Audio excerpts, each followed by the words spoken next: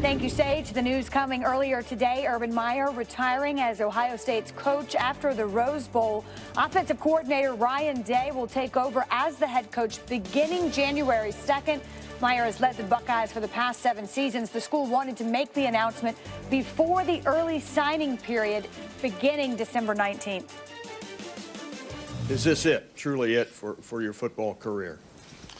Well, it's a complicated uh, question, and, and, I'll try to answer it the best I can. Is that uh, I dealt with uh, in 2014, had that surgery, and then it recurred last year. I started dealing with some issues last year, and uh, I hired Ryan Day.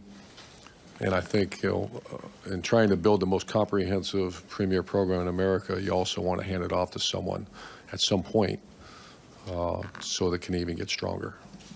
Sounds like so, you're not vanishing from the scene, though. I hope not. I, I uh, God has a plan. I'm not quite sure what that is. Gina and I are extremely close, and we discussed that, and uh, I hope to stay involved.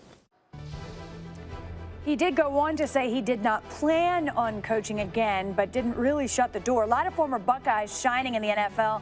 Zeke Elliott, the most rushing yards since he joined the league in 2016. Joey Bosa has been one of the league's top pass rushers. His brother Nick soon to join him.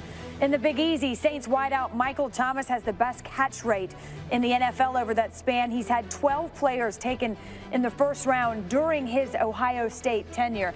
And again, this will become official after the Rose Bowl. Coach Day will take over January 2nd. You have to wonder if you do see Urban Meyer coaching again, if the NFL is in his sights at all. You know, Urban Meyer is going to now become the coach that anytime a prominent college or head coach opening at the NFL level is available, we're going to speculate about whether Urban Meyer will take that job. And especially when it's based in Ohio. So I can imagine that people will be saying to themselves, yeah, right? I, I yeah, okay. I, I, I water sure somewhere, right? Whether there's whether there's anything to it or not, I can guarantee you people will wonder, or at least ask the question: Is he on the Cleveland Browns radar? There's, and no information right now that suggests he there, is. There's a handful of coaches, whether it be Stoops or we've seen a number of coaches.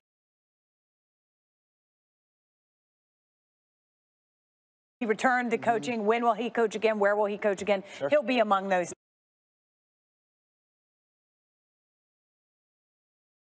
His wife will be involved with that and probably staying away from coaching. If that's best for his health, I think uh, he should remain not coaching.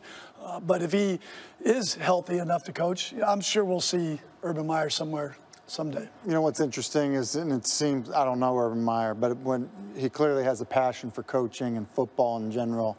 I feel like it's a drug for some guys that they that they they, they can't, can't shake. And so you know, health. And I, I, just think as young as he is, um, 54 years old, and the opportunities that'll present themselves to him, I, I would be shocked if he was done. Three national titles, his tenure at Ohio State anyway, at least as the head coach, will end on January 2nd. It's Hat Tuesday, everyone. I can't even get off my chair. I'm so excited. I guess we're putting helmets on. Really you know what? and it never goes on. Uh, this does not even oh, feel right. I, I need a star on this thing. I've had a lot to do with both of them. yeah. you gotta put the helmet on if you're all in. I'm all in on those Denver Broncos. Baby. Wow. Getting up. Here we go. Let's go. Let's go. Adam Schefter has the mini helmets that go on his mini head.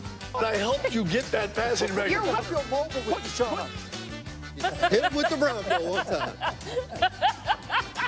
McVay's doing with that run and play action pass. I mean, Captain Obvious took the Rams. My sons call me that. They call me that all the time. They're right. Your sons are right. I'm going Seattle Seahawks. Reference oh. them. We are talking well, about wild card about Pete teams. Carroll, Coach of the Year. Yeah, yes. and listen, he's done. A, he has done a. It's a great uh, point by Coach. Um, but I just think the, the balance that that team has, the way they're playing on defense, and obviously Russell Wilson just so good at creating. So thinking specifically to Week 14. I've got the New Orleans Saints, who have a doubly bitter sweet or bitter taste in their mouth right now between losing to the Bucs all the way back in Week One and then having 10 days to ruminate over that loss to the Dallas Cowboys. You got to figure that the Saints are ready to take care of business in Tampa Bay. Good use week. of ruminate. Yeah. Uh, who we got? Colts, Jets, Eagles, Jags, Texans run the tape. On the Texans. Whoa. There you go. Like Job is next.